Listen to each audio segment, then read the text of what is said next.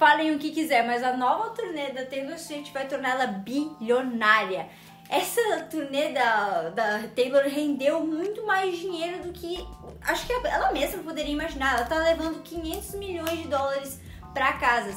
Os números são insanos, tu não vai acreditar o quanto ela ganha em um show. O ingresso médio para um show da Taylor Swift é de 1.300 dólares, tá? E isso por sem tirar, né, compra de bebidas, produtos.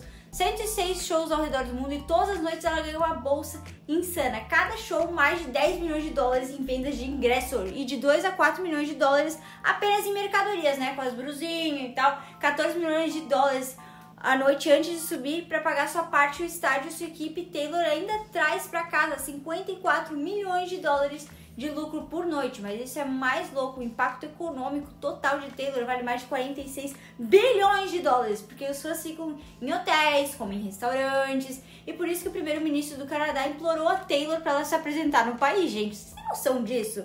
Ia ser muito benéfico para a economia, e ele já teve essa visão. Já segue esse perfil para mais curiosidades e deixa o like se você é fã da Taylor Swift.